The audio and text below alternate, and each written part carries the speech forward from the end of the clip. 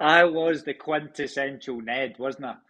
Um, I'm very proud of it, but that voice, fee man, I'm glad it broke eventually. Running out, lads, eh? All about cameras are running out.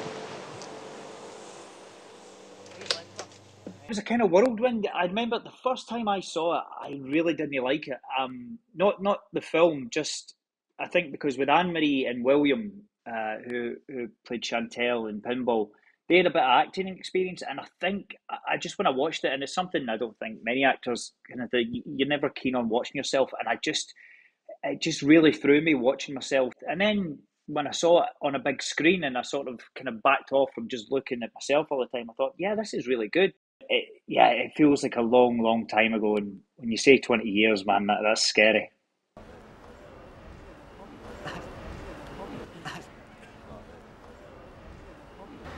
It was unbelievable.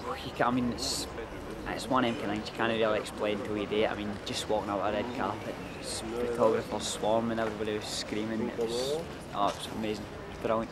It was quite It was quite surreal. It was a lot to take in. Um, Because I, I, I, right, there was one night we were at a party, our party, and I think Prince Albert of Monaco was there, and like Chuck Norris was there, and it was just like this is just just feels like a dream. In some ways, in my career, I'm trying to get back to that kid, you know, because when I, when I was 17 and, and didn't know really what I was doing, I was fearless. And also, it's, it's a film I'm really proud of, and sort of it's something people of Scotland still sort of uh, mention to me.